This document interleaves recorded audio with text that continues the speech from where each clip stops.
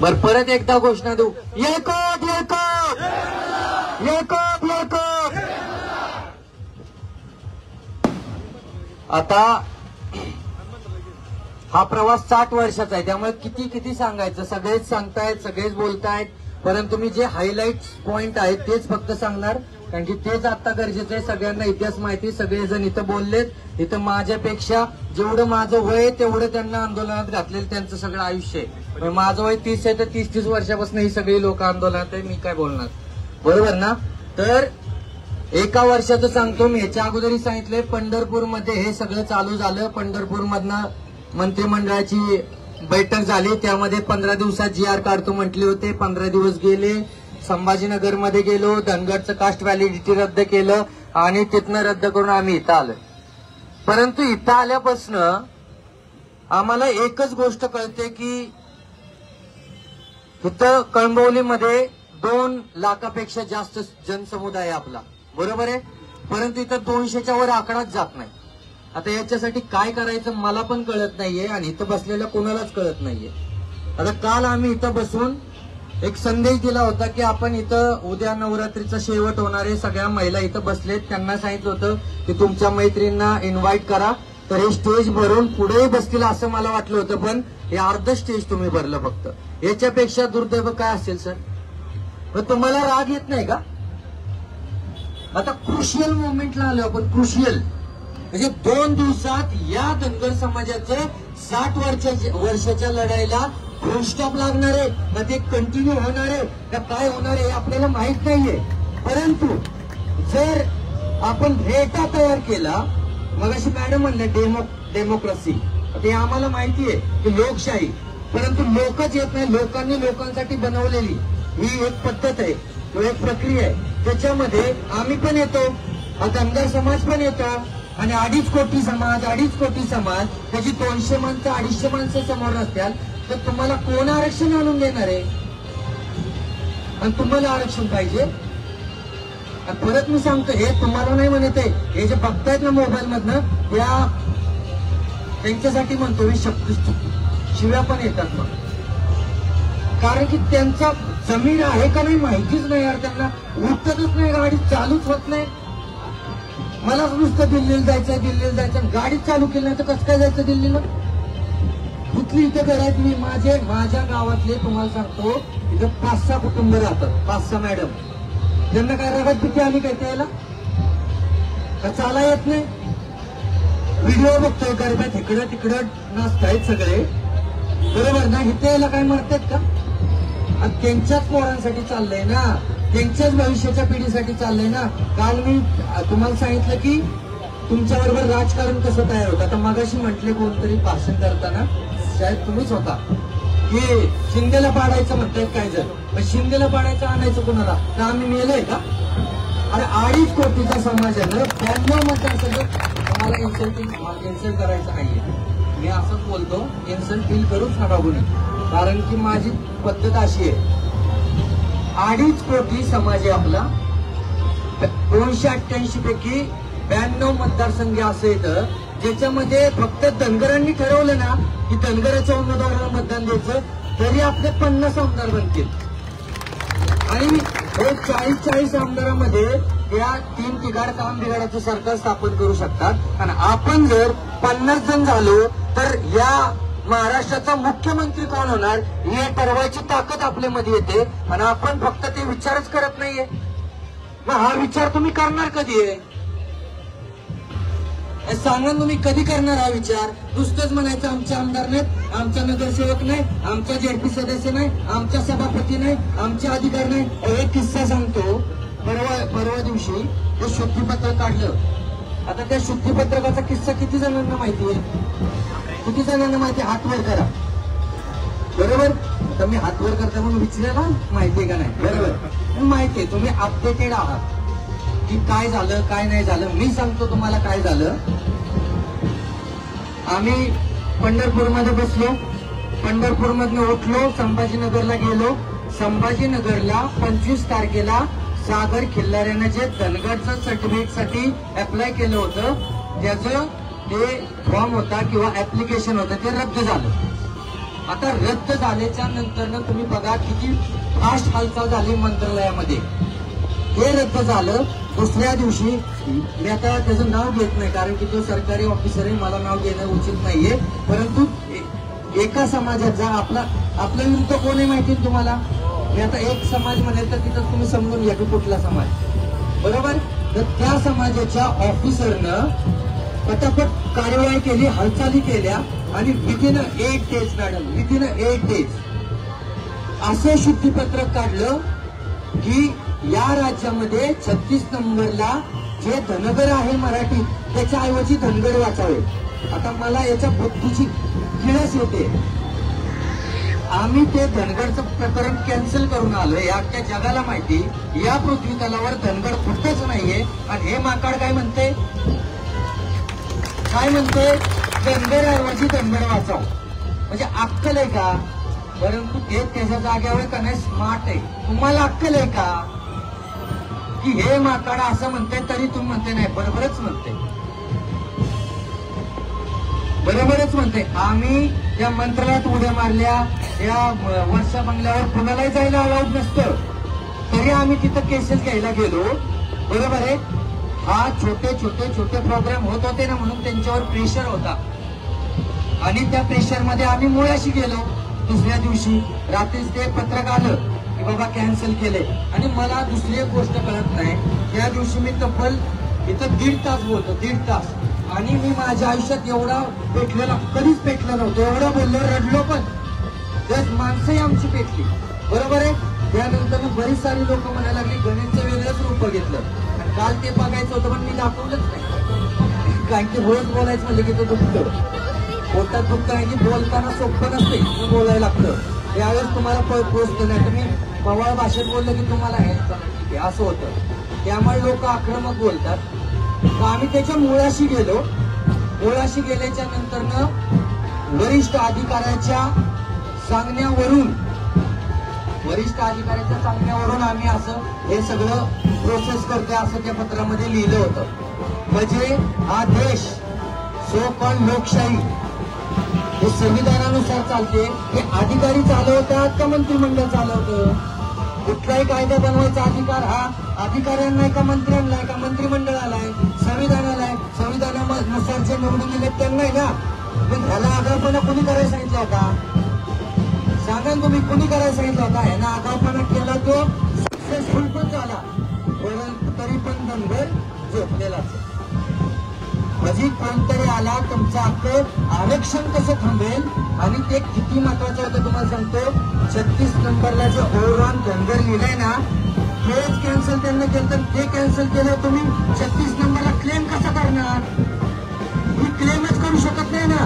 म्हणजे तुमचं झाडच उठून टाकलं तरीही त्याच्यावर या धनगर समाजानं निलंबन करा म्हणून कुठेही निदर्शनं केली नाहीत मॅडम. कुठंही. अहो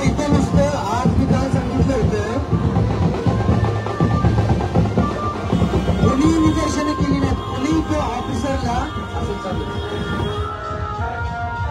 कोणी त्या ऑफिसरची निलंब अहो हे एवढा गंभीर विषय. ऍक्ट बनून कुठल्याही जमातीला जातीला त्याच्यामध्ये टाकण्याचा एक कायदा बनतो. आणि तो कायदा हे मंत्रिमंडळ बनवतं. अधिकारी बनवतं इथं या बीड पण खूप सारे अधिकारी आहेत. बनवतात का अधिकारी कायदा? मग ह्याला कोणी अधिकार दिला? तर त्याने केलं ती केलं परंतु तुमच्या लक्षात आणून देऊन पण तुम्ही शंडासारखे धक्कच बसलाय? मला खात्री आहे जोडे साहेब मी तुम्हाला सांगतो उद्या जरी हे जी आर निघला नाही निघला ना तरी हे धनगर समाज गप्पच बसला. का? तर त्यांना आगच लागत नाही आज आम्ही काही जणांना आग लावणार होतो. परंतु ह्यांना समाजापेक्षा त्या प्रशासनावरला विश्वास. आता या वकील मॅडम आहे तुम्ही वकील आहे ना? वकील मॅडम आहे जर कुणाला घाबरत असताना त्या वकिलांना घाबरतात आणि मी तर कुणाच्या बापाला घाबरत सांगतो काय करतील? जेलमध्ये टाकतील मारून टाकतील. याच्या व्यतिरिक्त काय करणार आहे आणि या जातीसाठी मला मरायला लय म्हणजे त्यासाठी मी भाग्यवान समजतो या जातीसाठी मला जर जर मरण आलं तर. काय उखाडणार आहे ते अरे वर्षा बंगल्यावर जायला ना धमक लागते धमक. कोणच इतिहासमध्ये गेलं आम्ही गेलो. काय करायचं ती करा. काय करणार? जेलमध्ये टाकणार ना? आणि इथं बसलेला प्रत्येक यांना जेल झाली नाही. महात्मा गांधी जेलमध्ये नव्हते. भगतसिंग सुखदेव जेलमध्ये नव्हते. कोण जेलमध्ये नव्हतं? ज्यांची पूजा आज तुम्ही करताय ते कोण जेलमध्ये नव्हतं? प्रत्येक जण जेलमध्ये होता. तुम्हाला जर तुमच्या हक्काचं पाहिजे असेल ना तर तुम्हाला केसेस अंग घ्यायला लागतील यार. काय होऊन सांगता जे? की तुम्ही आंदोलन करू नका. मला सांगा पांडुरंग मेरकर माहितीच ना तुम्हाला त्यांना पंढरपूरच्या भाषणामधून चुकून एक शब्द गेला की काय लायकी आहे टिंब टिंब समाजाची? आमच्या विरुद्ध उभं राहायची.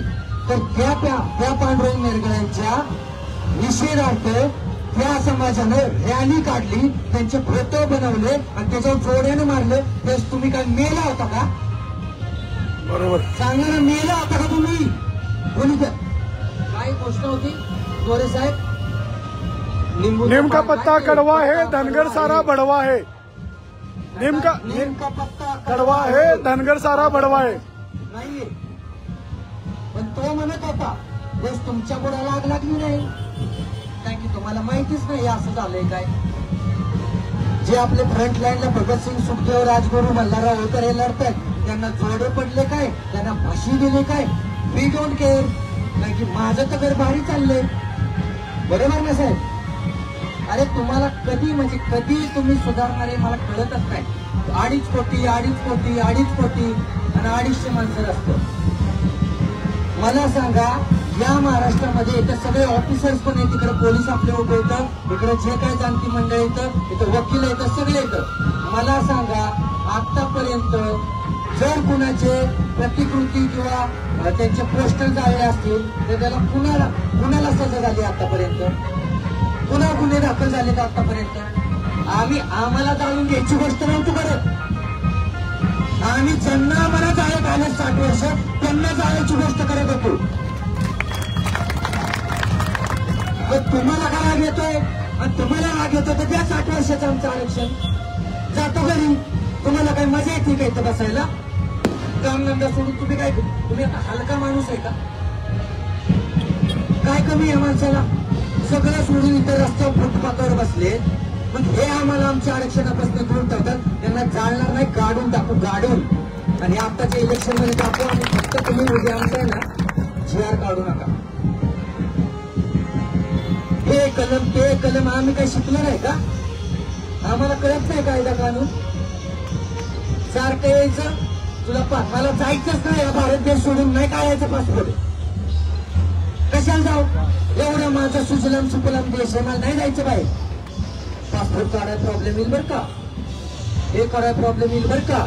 हे करायला प्रॉब्लेम येईल बरं अरे तुम्ही तुमची बाजू सेट करणार. आमची बाजू कोण सेट करणार? आणि आम्ही रोज आरक्षण द्यायचं? आम्ही रोज रिपोर्ट पाठवतोय. सरकार पॉझिटिव्ह आहे. हे आहे ते आहे. साठ वर्ष का लागली का लागली? सांगा ना. तुम्ही तुम्ही गपकुपान असं ऐकून घेता. त्यांचंही बरोबर आहे. तुम्ही येतच नाही तर त्याला धडकीच भरत नाही. एक डायव्हर्ट बघा. आम्ही एका न्यूज चॅनलमध्ये त्या दिवशी मॅडम गेलतो. त्यांना म्हटलं सर आमच्या तुम्ही न्यूज दाखवत नाही. आम्हाला न्यूजमध्ये आल्याशिवाय आपल्याला कोण घेणार आहे का ग्रांटेड नो तर ते म्हटले हा म्हटलं काय करायला लागेल? ते म्हटले तुम्हीच सांगता अडीच अडीच कोटीचा तुमचा धनगर समाज आहे आणि सोशल मीडियावर तुम्ही काय काय स्वप्न तुमचं? अहो तिकडून नुसतं ते जरांगे पाटीलमध्ये सरकार! मग अशी म्हटले तर त्याचे मिलियन्समध्ये व्ह्यूज गेलेत मिलियन्स मग त्याला कुठला ना कुठला चॅनल घेणारच का ना आम्ही इकडे हे सरकार म्हण नाही तर अरे माझ्या बागल्या म्हण नाही तर शिंदे साहेब लय चांगला आहे म्हण नाही तर त्याला शिव्या घाल. आम्हाला कोण कुत्र सुद्धा विचारत नाही. का? तर आम्हाला विचारायला तुम्ही कुठं जागे? ऐका जागे. आज मी आता काल तुम्हाला सांगितलं तिथं फक्त महिला दिसल्या पाहिजेत आणि आज फक्त महिलाच बोलणार. आल्या का महिला मॅडम. मग मला सांगा ना मी आम्ही काय करू? काय करू सांगा? मला समजत नाही काय करू? मी पण शिकलो तुम्ही वकील आहे ना चार प्रोफेशनल डिग्री आहे वकील सीए आर्किटेक्ट डॉक्टर मी आर्किटेक्ट आहे. आणि आर्किटेक्टची व्हॅल्यू या सिटीतल्या लोकांना माहिती काय असते किती पैसे असतात? मी सगळं सोडून दिलं यार सगळं सोडून दिलं. माझं पत्र्याचं घर आहे. तरी मी इथं बोंबालतोय होडा होडा होडा घर आणि तरी तुम्हाला जागे आहे नाही तरी तुम तुम्हाला मला एक गोष्ट सांगा की तुम्हाला जाग कधी येईल? काय वाटतं जोडे साहेब यांना कधी जागेल काय वाटतं मॅडम तुम्हाला कधी कधीच लोकांना जागेल तुम्ही मला वाटतं पंचवीस वर्ष झालं या मॅडम एक स्त्री असून सामाजिक कार्यात अग्रेसर आहेत. आम्ही आत्ता भेटलो मी नुसतं मोबाईलमध्येच बघत होते यांना. त्यांनाही हे पण लगत होता तो ही लोक सगळी. एक त्यांच्यानंतर समजत नाही की काय करू. समजत नाही काय करू. आज आता काल आम्ही त्या टेंबे नाक्यावर गेलो. किती जण होतो आपण सर? पाच लोक फक्त पाच लोक. काय ते मुख्यमंत्री आम्हाला विचारणार तरी आम्ही गेलोय. कारण की इतिहास घडवायला लोकसंख्या नाही लागत नाही फक्त एक आयडिया लागते. आणि ती आयडिया आमच्या पाच जणांच्यात होती. परंतु ते निघून गेले म्हणून ती सक्सेसफुल झाली नाही. बरोबर ना? तर मला तुम्हाला ही रिक्वेस्ट करायची दोन दिवसावर आलंय. आणि मला अजून एक गोष्ट बोलायची. मला मला आता तुम्ही अडवू नका. मला खूप वेळा असं सांगितलं जातं की नेत्यांवर बोल नको. नेत्यांवर बोल नको. बरोबर आहे? आता थोडं आहे ना ते नेते हे थोडं सोडून द्या. हे फक्त एक धनगर समाजाचे एक कार्यकर्ते आमच्यासारखे बघा हे जरी नेते असले तरी आम्ही आमची जाळली ना. का नाही जाळली? मग तुम्ही थोडं समजून घ्या. बरोबर आहे? मागच्या दोन आठवड्यापूर्वी मान्य पडळकर साहेबांनी टीव्ही चॅनलवरनं एक आदेश दिला.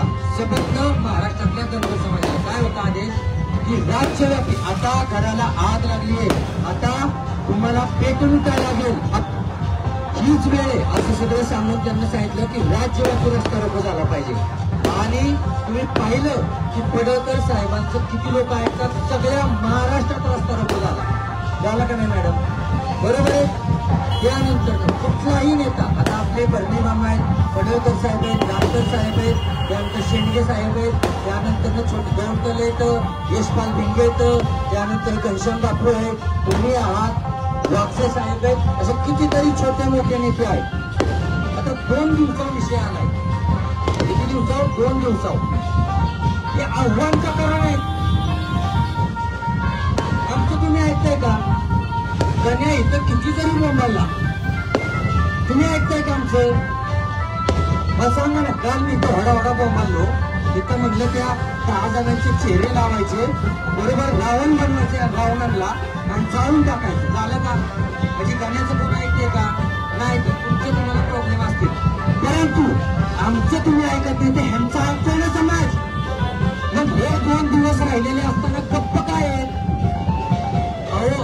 जी काही लोक आता इथे पब्लिकली सांगायचा विषय नाही पण आमची काही लोक या समाजाच्या संपर्कात आहेत. बरोबर? तर तिथं काय काय गोष्टी घडतात आम्हाला सगळं कळतंय. मी तुम्हाला पर्सनली ते मॅसेजेस वगैरे काय असेल सगळं दाखवेल. बरोबर? परंतु आमचा नेता काल पण मी भेटलो काही लोकांना. ते विजनच देणार किंवा आदेशच देणार मी काल म्हणलो एका साहेबाला की आमच्यासाठी आदेश काय? की आता आम्ही करू काय पुढं? बरोबर आहे? काय चाललंय ते बरं चाललंय आता इथं कितीतरी ऑफिसर्स आहेत आणि आम्ही कितीतरी ऑफिसरच्या कॉन्टॅक्टमध्ये मंत्रालयामध्ये किंवा वरिष्ठ पातळीवर एकच गोष्ट ऐकायला भेटते. की रेटा रेटा हा महत्त्वाचा आहे. लोकशाहीमध्ये लोकसंख्येला महत्त्व आहे. आणि ती लोकसंख्या आपल्याकडे आहे परंतु ते तुम्ही दाखवत नाही. जर जी आर नाही निघला साहेब तर मला आश्चर्यच नाही वाटणार तर मी हा विषय विचार करेन आत्मपरीक्षण करेन की आम्ही किती लढलो? बरोबर तुम्ही हा विचार करणार का? की आम्ही किती लढलो? ज्यावेळेस माझ्या घराला आग लागली होती त्यावेळेस ती आग विझवण्यासाठी आम्ही किती लढलो? हा प्रश्न तुम्हाला पडतो की नाही पडत? कुछ नहीं बरोबर ना? संघर्ष. हा प्रश्न बाबा कितना- लोग मरे? आज के युग में वही होने वाला है. मरो या मारो. कुछ नहीं होगा. लोकसंख्या दाखवा तरच हे आणि तरच तुमचं जी आर निघेल नाहीतर नाही निघणार नाहीतर नाही निघणार मग तुम्ही एकत्र येणार का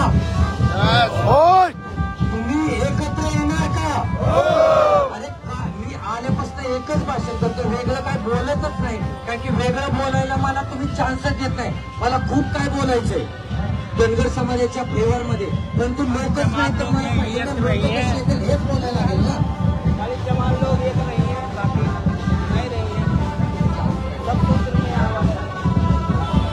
तर मी तुम्हाला हे सांगतो बांधवांनो. आपण दोन दिवसात दोन दिवसात दोन दिवसात आज कॅबिनेट होती. कॅबिनेट होती परंतु ती कॅबिनेट कॅन्सल झाली. आता सोमवारी कॅबिनेट आहे. बरोबर आहे तर उद्याचा दिवस आपल्याकडे आपल्याला काय काय करायला लागेल? तुम्ही कुठलंही आंदोलन करू नका तुम्ही काहीच करू नका फक्त एकत्र जरी आला ना तरी सरकारला धरती भरते. करते का नाही? मग तुम्ही एकत्र काय येत नाही? तुम्ही एकत्र काय येत नाही? मला हे सांगा. आता इथं कितीतरी पुरुष आले तर तुम्ही कुठून आलाय वाशी तुमच्या घरी कोण कोण असतं? दोन मुली आणि एक बायको. किती वर्षाच्या मुली चार वर्षाच्या. म्हणजे आता अजून दहा वर्षानं तुमच्या डोक्यात टेन्शन चालू होणार आहे. त्याचं शिक्षण हे तुम्हाला वाटते माझी मुलगी डॉक्टर झाली पाहिजे. बरोबर आहे? आहेत का पैसे आपल्याकडे? पण वाटतं डॉक्टर झाली पाहिजे. परंतु उद्या जर एस टीचं आरक्षण भेटलं तर खूप कमी पैशात ती डॉक्टर होईल. मग त्या मुलीला कळलं पाहिजे ना. बाबा आपला प्रॉब्लेम काय आहे? माझे पप्पा तिथं चालल्यात माझे पती तिथं चालल्यात. आणि तुम्हालाही वाटलं पाहिजे की आम्ही तिला घेऊन यायला पाहिजे होतं. मी इन्सल्ट करत नाहीये पण this is the hard reality you have to be accepted बरोबर आहे? मग तुम्ही उद्यापासून आणणार? आणि जरी नाही आणलं ना तर मोबाईलमध्ये तुम्ही घ्या वाचा. फॉरवर्ड करा. का? तर तुम्ही आता कोणाबरोबर तरी लग्न केले मग त्या सासरचं माणसं तुम्हाला कनेक्टेड येतं बरोबर आहे तुमच्या माहेरची लोक तुम्हाला कनेक्टेड येतं तुमचा फ्रेंड सर्कल तुम्हाला कनेक्टेड आहे. ज्यावेळेस तुम्ही एखादा मेसेज टाकता ना त्यावेळेस त्या सगळ्या आजूबाजूच्या फ्रेंड सर्कलमध्ये तो मेसेज जातो. मग केला पाहिजे ना. आता मी आज माझ्या मोबाईलची हालत सांगतो काय आमचे मला वाटतंय जवळपास साडेचारशे ग्रुप माझ्या मोबाईलमध्ये धनगरांचे बरोबर? आणि त्या सगळ्या ग्रुपमध्ये मला पर्सनली एकच मेसेज येतो विजयादशमीच्या हार्दिक शुभेच्छा. आता मला सांगा नाही दिलं तर ठीक आहे. त्यांचं प्रेम आहे म्हणून माझ्या होते. I I can understand. बरोबर आहे का नाही? परंतु त्याचबरोबर अजून एक मेसेज जर आला असता की आपल्याला कळंबोलीमध्ये आज दसरा मेळावा ठेवलेला आहे आणि तिथं मोठ्या संख्ये संख्येनं आपल्याला तिथं हजेरी लावायची तर मलाही छान वाटलं. का? तर याच्यात तर एक सिद्ध झालं जोडे साहेब की हे यांना आपण म्हणतो ना यांना समजत नाही यांना समजते फक्त यांना कळा नाही काय फॉरवर्ड करायचं. बरोबर आहे का नाही? काय फॉरवर्ड करायचं? तर आपल्या समाजाच्या गोष्टी तुम्ही फक्त दोन दिवस फॉरवर्ड करा. फक्त दोन दिवस करा. कारण की त्याच्यानंतर नाही भेटलं की मग परत पाच वर्ष हाच सगळा कार्यक्रम आहे. परत गाण्या चार वेळा उपोषणाला बसणार. परत खंगणार मेला तरी तुम्हाला काही फरक नाही पडणार. फक्त दोन दिवस गाण्याला मरून देऊ नका आणि आमच्या आईला देवींना मरून मरून देऊ नका. हे तुमच्या हातात बरोबर ना बाबा? बरोबर आहे का? बरोबर. करणार ना? तुम्ही सगळे करणार का? मी जे यांना सांगितलं कारण की? ते फक्त मी त्यांना सांगितलं. परंतु तुमच्या सगळ्यांसाठी संदेश आहे अरे करणार का? दोन्ही हातवर मग सांगा करणार का. ते सुद्धा म्हणताय जय मल्हार. येळकोट येळकोट करणार ना? बरोबर? आता दोन दिवस आपल्याला ना झोपायचंच नाही. त्या दिवशी आम्ही तो शुद्धीपत्रक निघलं ना आम्ही झोपलोच नाही मॅडम. कारण की आम्हाला झोपच येत नव्हती की आता उद्या काय होणार आहे? उद्या तुम्ही पण झोपला नाही. अक्षरशः माणसं तर रटली सुद्धा. आणि वाटलं आता उद्या धिंगाणा होणार आहे परंतु परत बॅक टू वर्क या सिच्युएशनला इथं फक्त मॅडम आणि त्यांच्या घरातली लोक त्यांची पाहुणी लावली आणि ज्यांना लई खाजा येते. म्हणजे त्यांना वाटतंय धनगराला आरक्षण भेटलं पाहिजे. परंतु ह्यांना का वाटाणं आरक्षण भेटलं पाहिजे मला समजतच नाहीये. मी जे बोलतोय ते तुम्हाला पटतंय का? पटतंय ना? आणि तुम्हाला एक गोष्ट सांगतो की या समाजात आहे ना एक चुकीची एक कॉन्सेप्ट किंवा एक भावना तयार झाली काही काय? की आंदोलनं उभी होतात त्यातनं नेते बनतात ते आम्हाला फसवतात आणि मग आम्ही नाही येणार. साठ वर्ष कुठं काय भेटलं तेव्हा? आता गाण्या बोंबाला तरी भेटणार किंवा वाक्षे मॅडम इथं उपोषण केलं तरी भेटणार. ही तयार झाले बरोबर का नाही? परंतु मी तुम्हाला विश्वास देतो.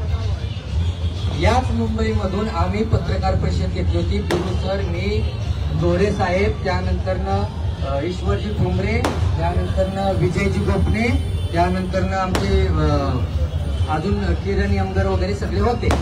बरोबर? आणि तिथून आम्ही फक्त ऐलान केला होता की आता धनगर आरक्षणावर आम्ही एक राज्यव्यापी अधिवेशन घेणार आहे. आणि ते आम्ही पुण्यात घेतलं. आता पहिलंच म्हणजे ह्या अपॉलिटिकल चेहऱ्यांनी ज्यांना राजकीय चेहरा नाहीये ही पोरं एकत्र आली आणि त्यांना राज्यव्यापी अधिवेशन घेतलं. आणि नेहमीप्रमाणे जे कुठेही आंदोलन असू दे कुठेही काय असू दे तेच चेहरे दिसतात. एक तर विद्याताई दिसणार कधी तरंगे दिसणार पडळकर दिसणार कन्या दिसणार चोरे दिसणार हेच चेहरे दिसतात. फिरून फिरून तेच आणि ते सगळे तिथं आले. कारण की आम्हाला वाटलं आता एवढं व्हायरल झालंय मॅडम तर तो सगळा पाचशे लोकांनी तो ऑडिटोरियम भरल. बरोबर? तर त्यात आली फक्त दोनशे माणसं. फक्त दोनशे माणसं. बर. त्यातनं चर्चा झाली सगळ्याला वाटलं काहीतरी होईल. आता आम्हालाही वाटलं नव्हतं काहीतरी म्हणजे एवढा मोठ्यापर्यंत आम्ही पोहोचणार आहे. मॅडम पण माहिती आहे का की ह्यांचे पती ते त्यांना रोज माहिती काय होते त्यांनाही माहिती ह्या पुरुष एक ज्या पत्नी आहेत आमच्या वैदिक त्यांनाही माहिती की ती माणूस किती दिवस बाहेर आहे दोन महिने झाले बाहेर. तर तिथनं आम्ही ठरवलं की आपण एक आमर राज्यव्यापी आमरण उपोषण करू कारण की आपण तुकड्या तुकड्यात उपोषण केली आता आपल्याला एक व्हायचंय. जर धनगर समाज एक झाला तरच आपले प्रश्न मार्गी लागतील. आणि आम्ही पंढरपूरला त्यात पण लय काय पंढरपूरला बसलो. पंढरपूरला बसल्याच्या नंतर ना विदिन थ्री डेज म्हणजे तिसऱ्या दिवशीच मंत्रिमंडळातले दोन मंत्री आणि आपले काही नेते पडळकर साहेब त्यानंतर बापू शेंडे शेंडग्यांना हे सगळे तिथं आले आणि त्यांना चौथ्या दिवशी आमची मिटिंग लावली. ही पहिली गोष्ट जी पॉझिटिव्ह झाली. काय वाजवा.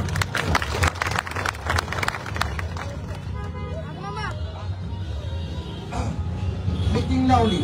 आता मीटिंग लावली त्यावेळेस रविवार होता. रविवारी सुद्धा मुख्यमंत्री साहेबांनी मीटिंग घेतली. मी बोर नाही ना करत. मीटिंग लावली. रविवारी आपले सगळी लोक तिथे गेली. सात लोकांची मंत्री आपलं शिष्टमंडळ होतं पण त्या हॉलमध्ये होती सत्तर लोक. आता याला काही लोक निगेटिव्ह घेतात पण मी पॉझिटिव्ह घेतो कारण की ती जी सत्तर होती ना त्यांना खऱ्या अर्थानं वाटत होती की सरकारांचं काहीतरी भलं व्हावं. बरोबर आहे? ही सत्तर तिथं गेली. तीन तास मॅडम मिटिंग चालली मुख्यमंत्र्यांबरोबर. तीन तास. आणि त्या तीन तासामध्ये हाच युक्तिवाद झाला. तो ऑफिसर म्हणायचा एक्स वाय झेड कम्युनिटीचा त्याला मी कम्युनिटीचाच म्हणणार कारण की ती तसंच आहे. आणि त्यांना सात टक्के आरक्षण असल्यामुळे काय होतं त्यांचे एवढे माणसं त्या मंत्रालयात फसवलेत ना की त्यांचे एवढे ऑफिसर आहेत आता आपले साडेतीन टक्क्यामुळे हप्ता मोजणारे पाच सहा जण आहेत. आणि त्यांचे पाच सहाशे येतात त्यामुळे ते लगेच फिरवतात सगळे सूत्र. तर तो आम्हाला सारखा डावलत होता सारखा डावलत होता. परंतु पहिल्यांदा या धनगर समाजाच्या इतिहासामध्ये एक गोष्ट मला आवडली चोरे साहेब. ती म्हणजे जी न्यायालयीन लढाई लढत होती अहिल्यादेवी प्रबोधनी मंचाची माणसं ती तिथं होती.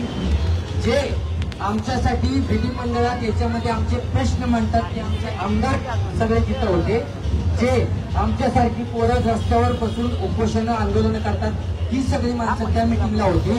आणि जे पडद्यामागून ऑफिसर्स लेवलचे असतील किंवा पडद्यामागून जे समोर येत नाहीत पण काम करतात ही लोक तिथं होती. आणि पहिल्यांदा मला असं वाटलं की धनगर एक झाला कारण की आईच्या देव आमदार त्याचं उपोषण करते त्यानंतर बॅकग्राऊंडची माणसं आणि जनता ही सगळी एक झाली आणि कॉन्फिडन्स वाढला. हा आपला दुसरा सक्सेस हा आपला दुसरा सक्सेस होता. आणि तिथं हे सक्सेसफुल ठरले त्या वाघमारे त्या माणसाला थांबवायला आणि मुख्यमंत्र्यांचा विश्वास जिंकायला. त्यावेळेस तो माणूस म्हणत होता की तुम्हाला एसटीच्या यादीमध्ये आरक्षण देता येत नाही. आणि तो तीनशे बेचाळीसचं दोन कलम सांगत होता. हे कलम आहे एखाद्या जातीला एस सी आणि एस टी मध्ये इन्क्लूड किंवा टी व्हायचं असेल तर. आणि आमच्या माणसांनी तिथं त्याला सांगितलं पडळकर साहेबांनी त्याला सांगितलं हो साहेब तुम्ही सचिव आहे ना सेक्रेटरी ना तर तुम्ही सारखं तीनशे बेचाळीस बेचाळीस सांगताय दोन तीनशे बेचाळीसचं एक काय सांगा? त्यावेळेस त्याला सांगायचं आलं. त्याला म्हणतात खंडित पकडलं. हे साहेबांनी पकडलं.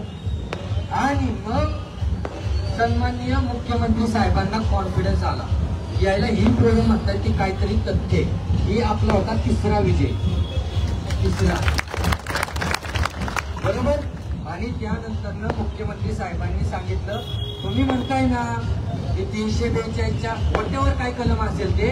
त्याच्यानुसार राज्याच्या अखत्यारीत आहे. आरक्षण देणं तर तुम्ही आम्हाला सात दिवसात सांगा की कसं देता येते मी मी धर्मवीर आनंद दिघेचा शिष्य त्यांच्या विचारांनी प्रेरित झाले.